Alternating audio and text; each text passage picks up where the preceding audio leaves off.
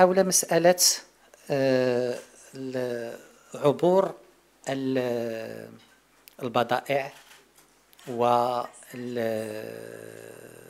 والأشخاص حققنا واحد التقدم كبير. أولا خصني نأكد بأن كل ما كل العناصر وكل الالتزامات الموجودة في خارطة الطريق وفي الإعلان المشترك ديال 7 أبريل سيتم تنفيذها بشكل كامل وبشكل آه، واضح.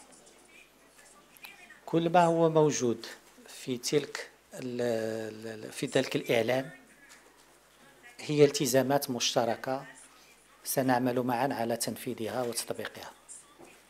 ثانيا من أجل ذلك تخلق واحد الفريق عمل وبدا كيشتغل وكانت اجتماعات متعددة. يمكن فريق العمل اللي اجتمع أكثر هو فريق العمل هذا حول عبور البضائع والأشخاص. وكانت مجموعة من كانت حتى بعض لي تيست اللي داروا حتى تجارب اللي دارت ثلاثة على الأقل. واللي خدينا منهم دروس ما يمكن القيام به ما هو ما يجب تحسينه.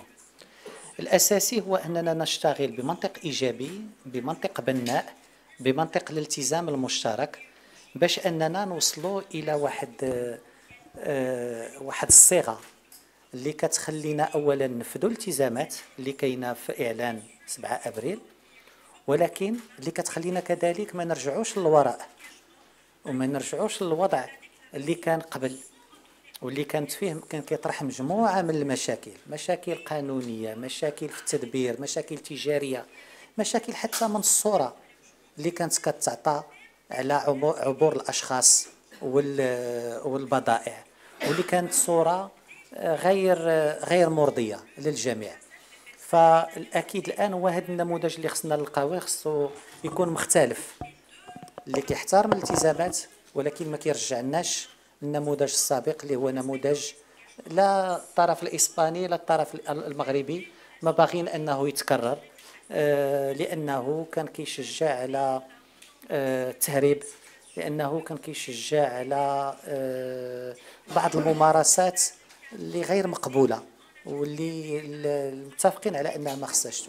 فهذا هو التصور اللي غاديين فيه واللي اتفقنا على أن فريق العمل غيجتمع بسرعة آه، وفي اقرب الأوقات باش أنه يوضع هذا التصور في أقرب وقت ممكن اليوم المشكل ماشي هو مشكل الالتزام ماشي مشكل سياسي.